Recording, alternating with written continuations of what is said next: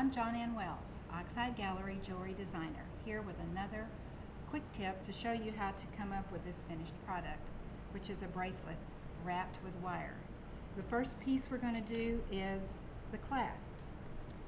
So this is a clasp, it's very easy to make with simple tools. What you're going to need is some 16 gauge wire. Here's your tools that you'll need. You'll need a hammer, flat nose pliers, round nose pliers, wire cutters, another set of flat nose pliers, and bent chain nose pliers. You're going to take a 3 inch piece of 16 gauge wire. We're working in copper today. It's a great learning metal to use because uh, it's less expensive than silver, but everything we're doing today can be done in silver. So you're going to take your wire, lay it down, and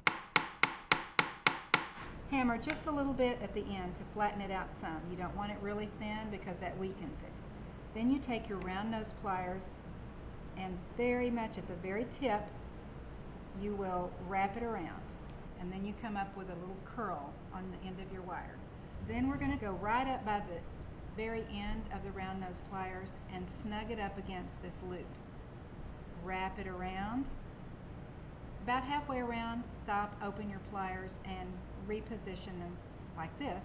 This gives you a prettier curve on your, on your clasp. One more little twist and one more and you've got this.